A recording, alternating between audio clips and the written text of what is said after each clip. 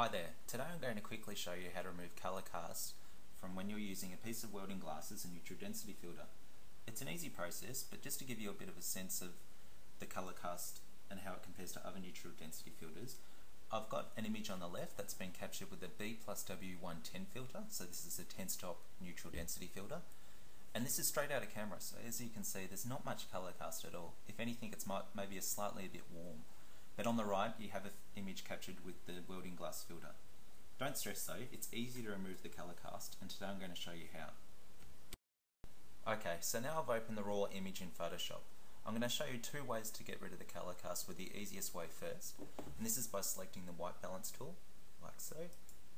And now you need to find the widest point of the image. In this case it's either the water or the clouds. I'm going to select the clouds.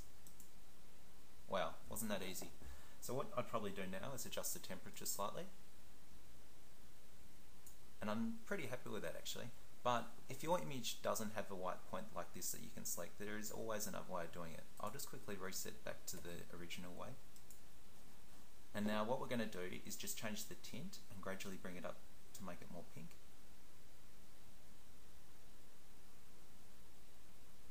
and also adjust the temperature. There you have it, that's it.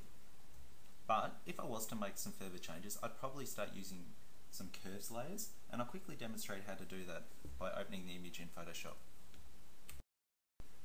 With the edited image in Photoshop, I'm now going to create a curves layer. Let's do this by selecting this, and now curves. And now you have three different color channels, red, green and blue. I'm going to select green, and gradually pull down the midtones.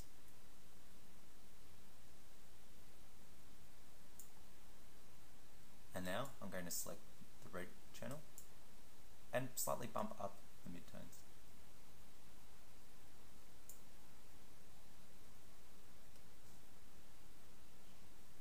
So just to give you a before and after,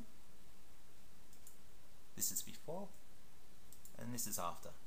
So it's pretty much in a state that I'm happy with and I'll probably make some minor adjustments after this including dodging and burning and sharpening but this is pretty much in a state of how I'd like the colours to look. If you have any questions feel free to drop a comment but also don't forget to have a look at the blog post I've written about using welding glass as a neutral density filter that I'll link to in the description field of this video. Thanks for watching and catch you later.